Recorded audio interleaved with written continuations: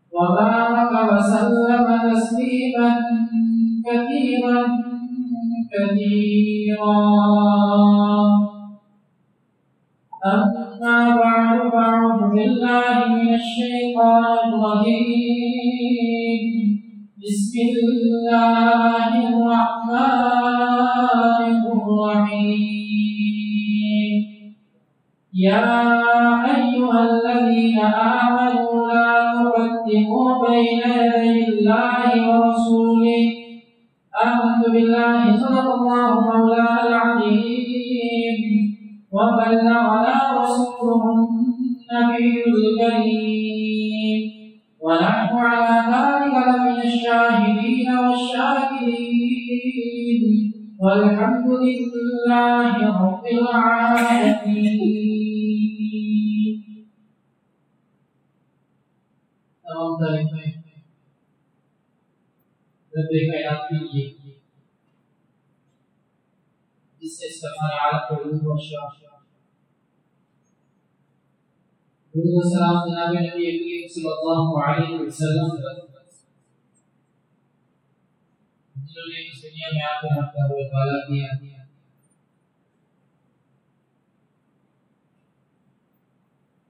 फरमाए मोहम्मद गुफ्तगू ये चल रही कि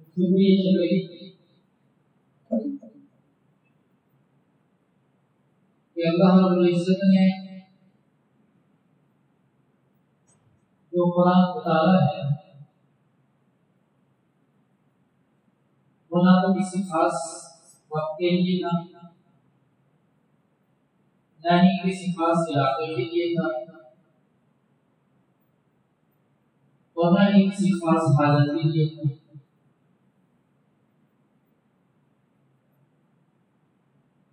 बल्कि ये कयामत तक आने वाले इंसानों के लिए रहनुमाई का ज़रिया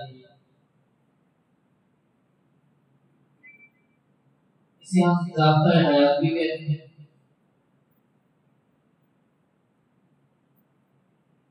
तो दूसरी बात यह है कि अल्लाह रब्बुल इज़्ज़त ने कुरान के अंदर जुजियात को बयान नहीं किया।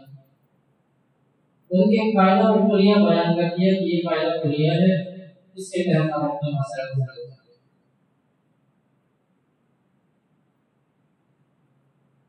या अय्युहल्लज़ीना आमनू ला तुक़द्दिमू बैना यदय अल्लाहि व रसूलिही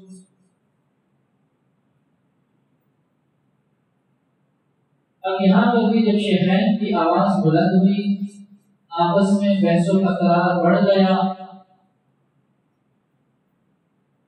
तो वहाँ पर अल्लाह रब्बुल ने ये नहीं फरमाया कि भाई आपकी आवाज़ ऊँची हो गई है बहसों का करार बढ़ गया है तो आपके लिए ये ज़रूरी है कि आप आपके साथ साथ की मौजूदगी के अंदर अपनी आवाज़ को बस कर बहसों का करार करना है इसका बस मतलब मुझे जो है किया बल्कि कायदा को लिया बयान कर दिया कि ऐ ईमान वालों, ला तुक़द्दिमू बैना यदय अल्लाहि व रसूलिही कि जब तक अल्लाह के नबी कोई बात कहना दें उस वक्त तक खामोश रहो इंतज़ार करो और जब तक अल्लाह के नबी कोई मशवरा मांग न ले, तब तक मशवरा न दो। और जब मशवरा मांग ले तो फिर मशवरा भी दो और अजाना दे अगर ये कुरान किसी खास मौके के लिए होता, खास हालात के लिए होता तो फिर सूद बयान ये ना होता। कि या अय्युहल्लज़ीना आमनू ऐ ईमान वालों मुझे काम बल्कि कहा जाता है शेखैन से कि शेखैन आप जो बात कर रहे हैं, वो बात मजलिस नबूवत के खिलाफ है आपको ये बात नहीं करनी चाहिए तो हमारा खुलासा ये था कि पहली बात ये है सहाबा को दिया जा रहा है कि आप जनाब नबी करीम सल्लल्लाहु अलैहि वसल्लम की मजलिस में हो तो उसके आराम का ख्याल रखें। उसमें से पहली बात ये थी कि जब तक मशवरा ना मांगे और किसी बात को करने का ना कहें, उस वक्त तक खामोश रहें। अपनी तरफ़ से किसी बात का इजहार ना और यही बात अब इस वक्त आलमा की मजलिस के लिए है कि जब आलमा की मजलिस में हो तो अपनी तरफ़ से राय ज़मीन ना करें बल्कि इंतज़ार करें कि किसी भी मसले के अंदर आलमा क्या राय बयान करते हैं, क्या राय इख्तियार करते हैं, उसके बाद अपनी राय का इजहार करें। दूसरी बात ये थी, इस आयत से जो हमें सबक मिल रहा था कि जब अल्लाह के नबी चल रहे हो तो ये बात की है कि फिर सहाबा के हुक्म है, उनसे आगे ना चले। आगे ना बढ़े उनसे, बल्कि उनसे पीछे रह गए। एक कदम, दो कदम पीछे रह गए। अब ये बनी कि अल्लाह के नबी चले गए, आयत का निसाब खत्म हो गया। अब ये आयत को जमाने के लिए अब इस आयत का कोई मकसद और मतलब नहीं रहा। और इसकी ज़रूरत बाकी नहीं रही। ऐसी बात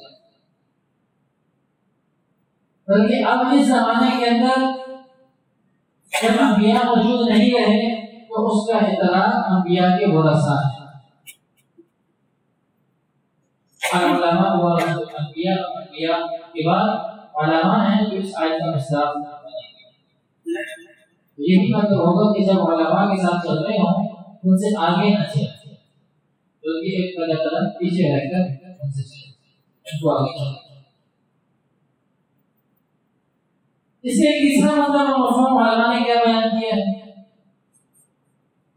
वो ये बयान किया कि ला तुक़द्दिमू बैना यदैल्लाहि व रसूली।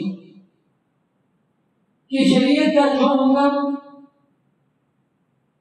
जैसे अल्लाह ने बयान किया और अल्लाह के रसूल ने बताया और सहाबा ने करके दिखाया, बस हुक्म उसी तक महदूद रखना है। उसी तरीके तक उसको महदूद रखना है, उससे आगे नहीं चलाना भाई मेरा। दिल ये चाहता है कि मैं जुमे के अंदर भी चार रखते ही पढ़ूं।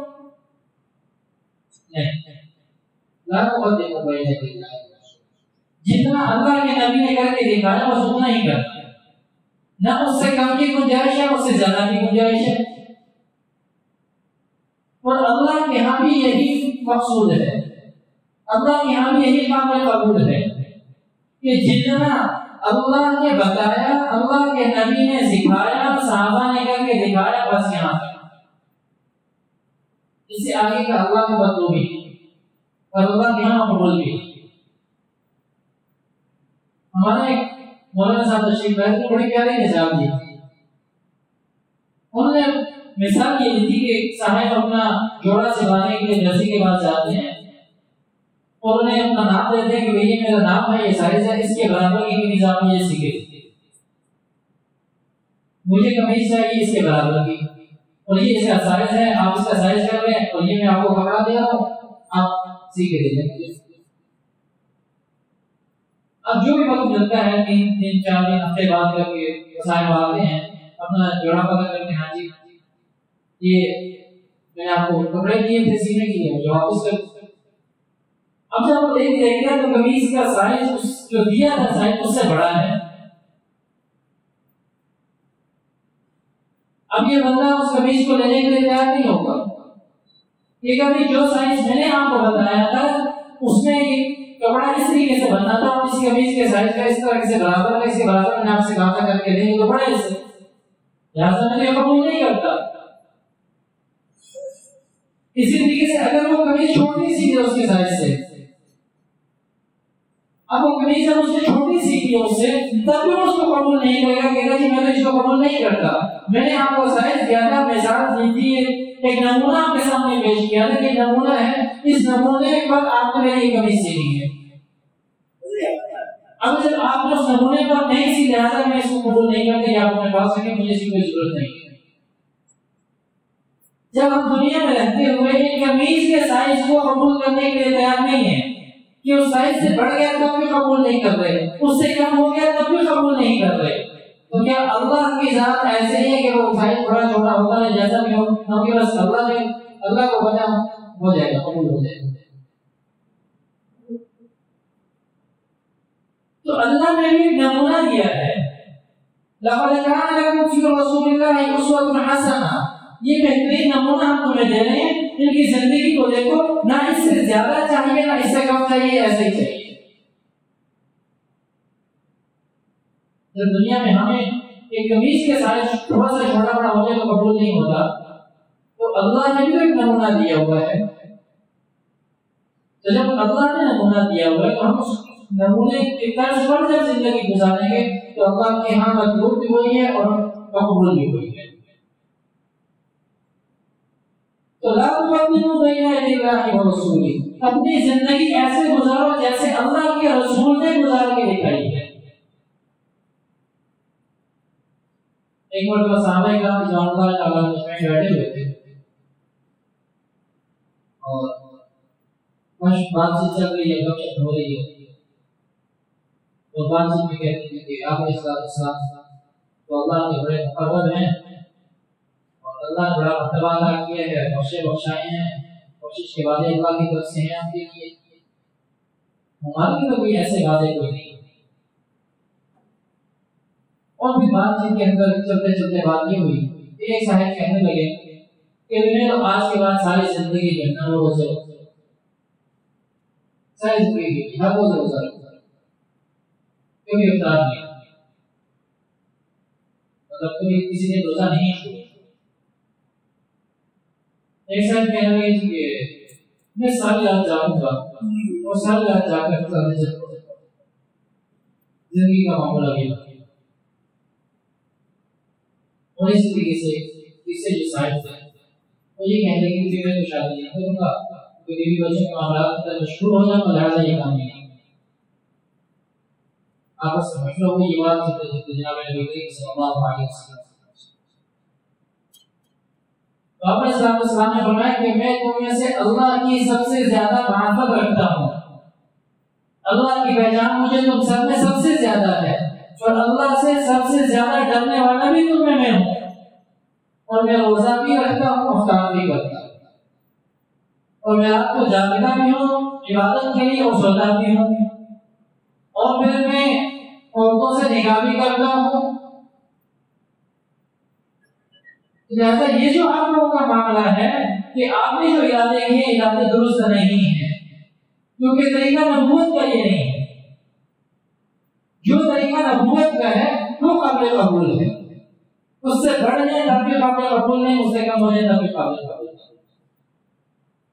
लिहाजा रोजा भी रखो और अफ्तार भी करो, और रात को नींद भी करो, इबादत भी करो, और औरतों के साथ निगाह भी करो, और अल्लाह को राज़ी भी करो।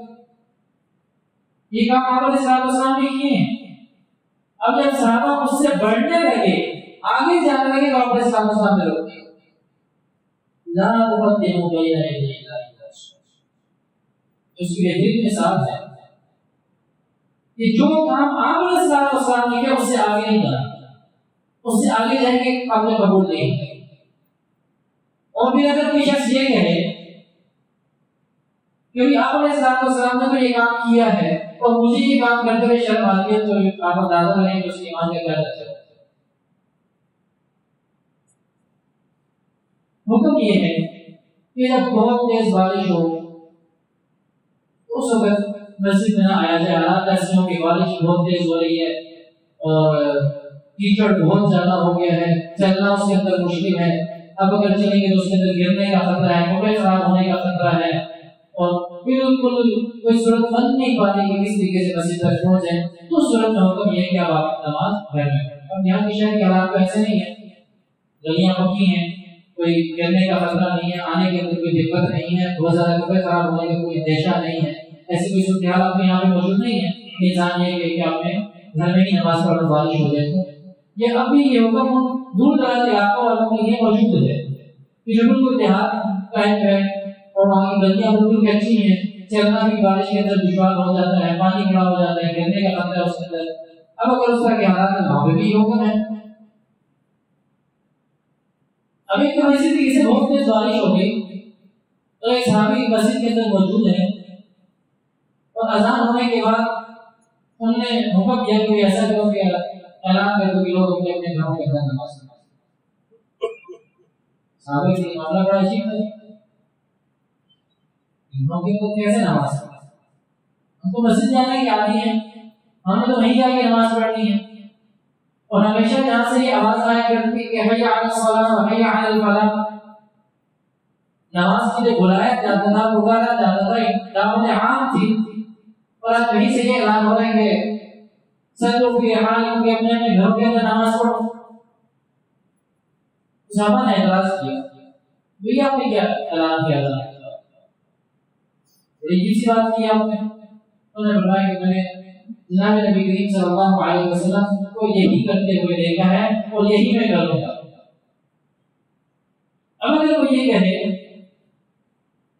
कि भाई हुक्म कोई भी हो लेकिन अब जैसे कि आपसे बीमार हो जाता है बीमार होने के बाद ये कि नहीं खड़ा हो सकता तो बैठ के नमाज़ पढ़ो। अब ये कहते कि बैठ के नमाज़ पढ़ते मुझे मज़ा तो नहीं आता कुछ भी हो जाए, मैंने खड़े होकर ही नमाज़ पढ़नी है। जब शरीर ने गुंजाइश दी है तो फिर भी वो कह नहीं मैंने तो खड़े होकर ही नमाज़ पढ़नी है। तो अब शरीर को अगर वो नहीं देगा तो इसका मतलब वो अपनी मर्ज़ी कर देगा ला तकद्दुम बैन यदिल्लाहि व। दीन नाम इत्तिबा का है याद रखिए। दीन अपनी ख्वाहिशात को पूरा करने का नाम नहीं है। दीन है का अल्लाह की अहकाम की इत्तिबा नबी करीम सल्लल्लाहु अलैहि वसल्लम के तरीके की इत्तिबा का है अगर इसके अंदर बराबर भी मेरी ख्वाहिशात का है दीन नहीं मेरी ख्वाहिशात को वो नफ्स की तस्कीन है जो हुक्म अल्लाह की तरफ़ से है, जो हुक्म अल्लाह के रसूल की तरफ़ से है, उसी को पूरा करने का नाम दीन है और यही नकाला इस आयत का है कि ला तुक़द्दिमू बैन यदिल्लाहि व रसूल। अल्लाह उसके रसूल के हुक्म से आगे नहीं बढ़ता और उससे पीछे में नहीं रहता। जो सैंपल अल्लाह ने दिया है, उसी सैंपल के ऊपर अपनी ज़िंदगी गुजारती है और सैंपल जनाब नबी करीम सल्लल्लाहु अलैहि वसल्लम की ज़िंदगी। बड़ी मुसीबत ये है कि अब हमें ये पता है कि ज़िंदगी कैसी है। यही तो मसला है? कैसे गुजरी? क्या पता कैसे पढ़ाई के अंदर माहौल नहीं है, उलमा के साथ ताल्लुक नहीं है तो कैसे पता चलेगा कैसे गुजरी? और इंटरनेट के ऊपर जो जहाँ के जैसा किसी ने बता दिया, उसी को तीन समझ के उसके पीछे लग गया एक है नेट का दीन एक है मेंबरों में हराम का दीन ये बात याद रखिए दो किस्म के आजकल के जमाने में अलग अलग होगी। एक इंटरनेट का दीन है। एक मेंबरों में हराम का दीन है। हमारी अक्सरियत की सड़क इंटरनेट के के पीछे मस्जिद में आते भी शर्म आती है के साथ ताल्लुक में भी शर्म आती है। अब क्या करते हैं? इंटरनेट के ऊपर जिसने जो बात किया, उसी को ले लिया। और उसको भी समझ से उसके पीछे चल पड़े। अब जब थोड़ी सा मेंबर मेहमान से और बात बताते हैं करने की समझ नहीं आती और बात करते हैं। कुछ बात करते तो इंटरनेट का दिन जिस मकसद के लिए कायम किया गया है, आप उसी उसी मंजिल पे पहुँचेंगे ये बात याद रखिए। जिस मकसद के लिए इंटरनेट का दिन कायम हुआ है, आप उसी मंजिल पे पहुँचेंगे और मेंबर में आप जिस दीन को लेकर चल रहे जिस मकसद के लिए कायम हुआ है, इसी मंजिल पे आप पहुँचेंगे ये दोनों अलग मंजिल हैं। एक मंजिल नहीं है, ये रास्ते भी अलग है। दीन की मेहनत उसी मनहज पे होगी, जिसमें सहाबा ने की है, जिसमें आइमा कराम ने की है, फिर उसी मंजिल पे पहुँचे। क्योंकि दीन कहाँ से आया? अंबिया से। सीना दर सीना मुंतकिल हुआ। और मेरे मेहराब आज तक उसका ये काम कर रहे हैं। आज तक दीन यहीं से चलता है। और पीछे जितनी तारीख देख ले दीन यहीं से आया है। ये भी देखना है ना दीन का मौका क्या है, वापस क्या है वहाँ से चला आ रहा है। अगर मिलों में हराम से सीखेंगे तो फिर मंजिल इसकी पहुँचेंगे, और अगर इंटरनेट से सीखेंगे तो फिर इस मकसद के लिए वो कायम हुए तो उसी मकसद पे पहुँचेंगे। ला तकद्दिमु बैन यदिल्लाहि व रसूली वाला है यदिल्लाहि व रसूली इसके जितने उस वक्त मौजूद थे इतने ही आज भी उसके मौजूद हैं समझने की ज़रूरत है।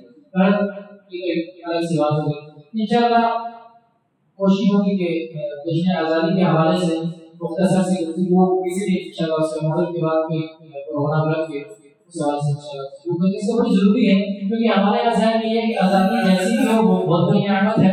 और पाबंदी जैसी भी हो क्योंकि आज़ादी के मुकाबले में पाबंदी आती है, वो बड़ी खराब चीज़ है। एक बात मुख्तसर से खुलासा बयान कर देता हूँ एक जुमले के अंदर कि हर आज़ादी महमूद नहीं है, ये बात याद और हर कैद भी वो मजमूम नहीं है। मतलब हर आज़ादी ऐसी है कि जिसकी तारीफ़ की जाए और हर कैद भी ऐसी है कि जिसकी मजम्मत बयान की जाए। इंशाल्लाह इस हवाले से